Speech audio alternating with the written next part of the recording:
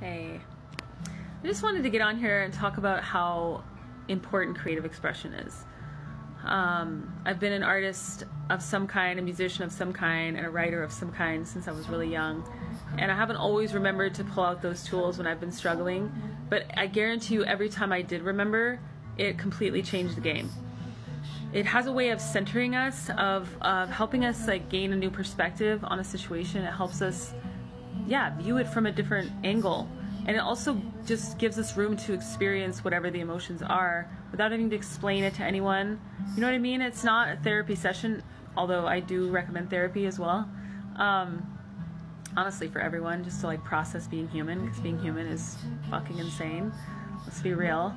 Um, but but giving carving out a little time where we just say, like with our elbows out, you know, like this is my time this is my time to just like a child you know? Children make time. They prioritize creative projects because they know that you know children they express their emotions when they feel them.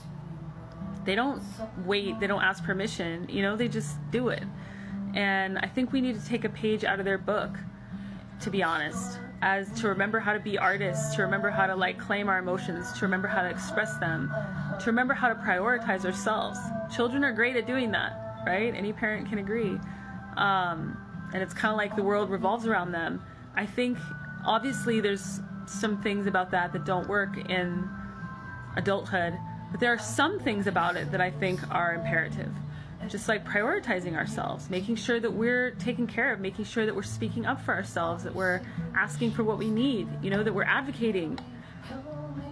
And and I know I'm getting off track a little bit, but creativity is such a huge part of that because it's it's a little part of you showing another part of you how much you value them you know how much you um, recognize yeah the, the value of the merit of their voice of their opinion of their perspective.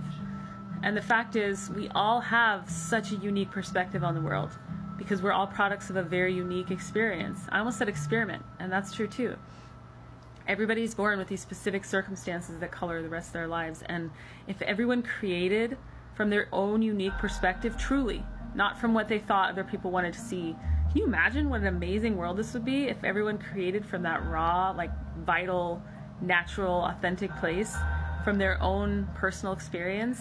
This would be a fascinating place. And obviously, the people that are already contributing to that are what make it a fascinating place to begin with. Um, but yeah, empower yourselves to create, to express.